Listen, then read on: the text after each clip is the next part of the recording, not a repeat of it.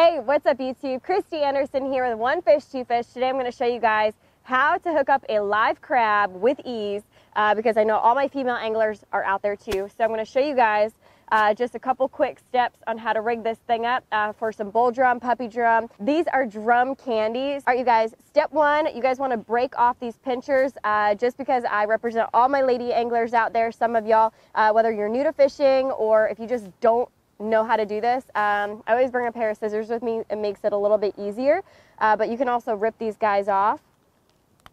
All right.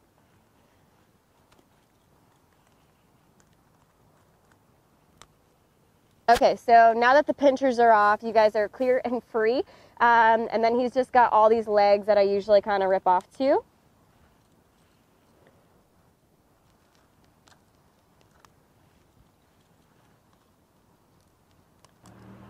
All right, perfect.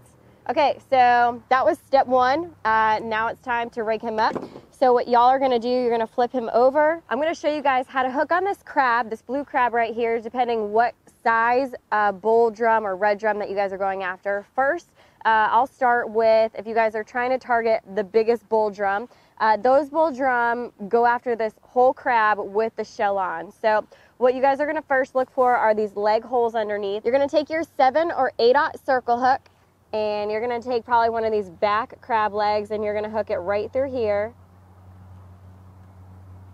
And you want it to come out through the body. Okay, perfect.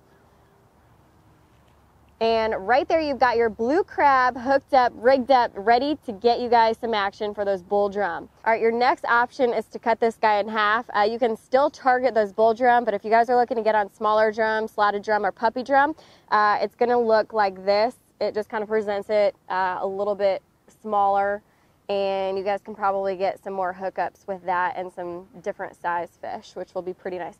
So first of all, you guys really wanna take this and the shell does come off you just have to kind of like work with it. All right so usually when you flip up the wing usually the wing and the whole body comes off at once. Unfortunately the wings came off and now you still have the middle of the body.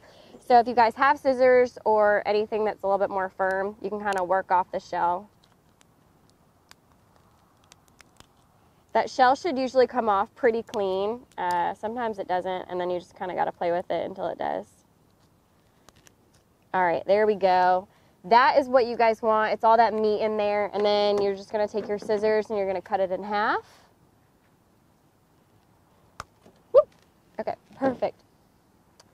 All right, and then once you got that whole shell off, you're going to be looking for the legs where those were the last time that we hooked it because those are going to be uh, perfect for hooking it through.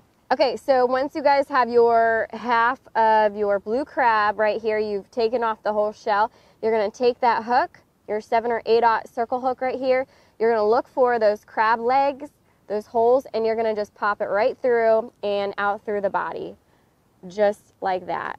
Perfect, y'all, this is bull drum candy, red drum candy, it doesn't matter what size, they freaking uh, love this stuff. It's irresistible. Uh, that's how you rig it up. And this is going to be perfect for that spring uh, drum run. So you guys get ready, hit up your piers, your beaches, get your live crabs from your local tackle shop and get out there because y'all are going to be uh, sticking the fish of a lifetime.